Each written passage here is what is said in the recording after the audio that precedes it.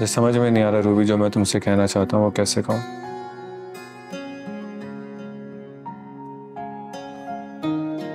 मैं तो इस मोहब्बत पे यकीन ही रखता था। लेकिन तुम्हारी आँखों ने मुझे अपना दीवाना बना दिया।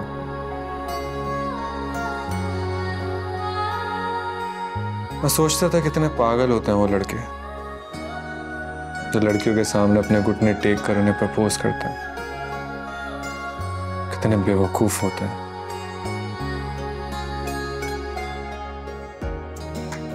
मगर आज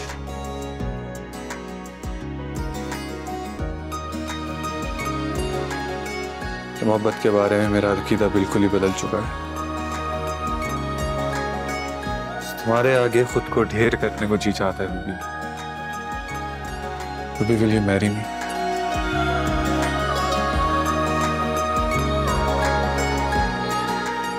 बाहर में जाओ तुम और तुम्हारी ये रिंग। तुम्हारी इतनी औकात नहीं है कि तुम मुझसे शादी कर सको।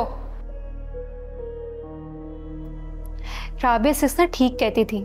तुम जैसे लोगों पे भरोसा करना ही नहीं चाहिए। कभी झूठी सच्ची बातें करके, कभी मुस्कुरा के, कभी मुस्कुरा देने का बहाना करके, कभी शरारत करके और कभी मज़ाक उड़ा के। और फिर तुमने मुझे अपना दीवाना बना दिया। और जब मैं पूरी तरह से तुम्हारे प्यार में पागल हो चुकी थी तो तुमने मेरा दिल तोड़ दिया। तो मुझे ये बताओ कि तुम अब किस मुँह से आए हो मेरे पास ये कहने के लिए कि तुम मुझसे शादी करना चाहते हो? प्यार, मोहब्बत, शादी, इन सब चीज़ों से ना तुमने मेरा दिल उचाट कर दिया है। और शादी शादी तो मैं अब नहीं करूँगी। किसी से भी नहीं करूँगी। और हाँ ये सिर्फ़ तुम्हारी वजह से हुआ है। आइंदा ना, तुम मुझे मेरे आगे पीछे दो हिलाते हुए नज़र ना आओ। मैं नफरत करती हूँ तुमसे।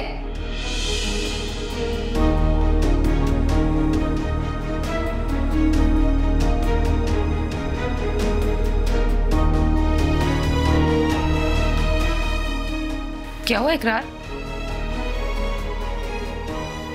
Such a sad romantic scene जो यहाँ हुआ है, ये ये तुम्हारे ड्रामे की बैकबोन बन जाएगा। बहुत मज़े का सीन है। मैं बाद में बताऊँगा तुम्हें।